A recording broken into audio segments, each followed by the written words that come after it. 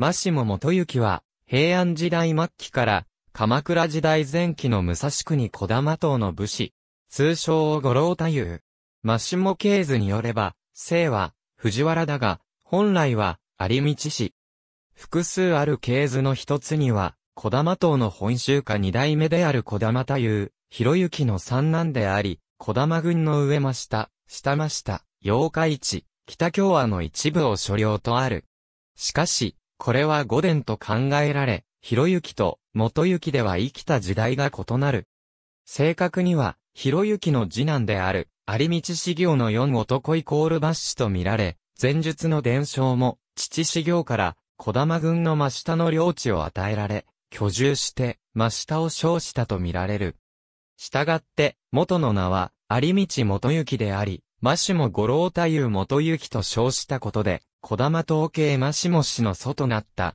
玉葉の文治元年の記述として、小玉三十期ばかりが、源義経の居所を襲撃したとある。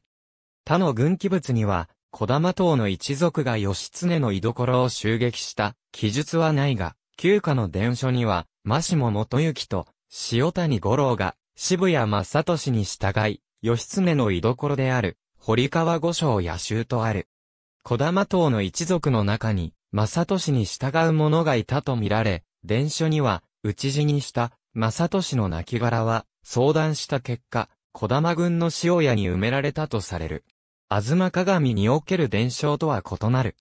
小玉軍の塩屋村の畑の中に、金王丸の墓と伝わる古い石の五輪がある。武蔵国小玉軍師の記述では、金王丸は、塩谷重家の子となったとされている。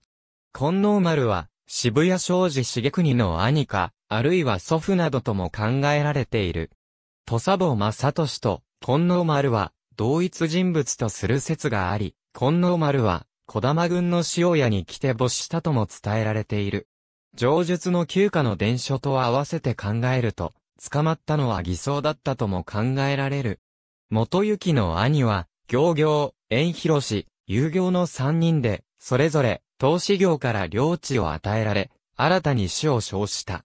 これらの士族は当然のことながら、小玉島の着流である、少子コール小玉氏の宗家とも同族である。元行の子息は、太郎広忠、有広、広親がいる。武蔵七統計図の伝承によれば、子息の一人である、次郎広忠は、上、真下村に居住したとある。通称の伝承にも差異が見られ、別系図では、五郎広忠となっており、不死の伝承に混同が見られる。したがって、父元行が館を築いた可能性もないわけではない。館跡は確認されている。別の系図では、元行の三男、四郎広志親は、上郡、勅使河原村へ移住したとある。研究元年、源頼朝呪落の際、後人随病の中に、マシモ太郎の長見へ、元行の子息である広忠を指すものと見られている。家庭4年、四代将軍、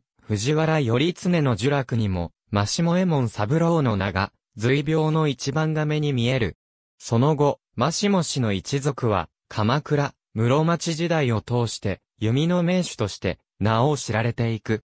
鎌倉から室町期にかけて、慶の弓修行時である、おまとのいての成績を記録した、五敵日記に、ましもし一族の名が参見できる。ありがとうございます。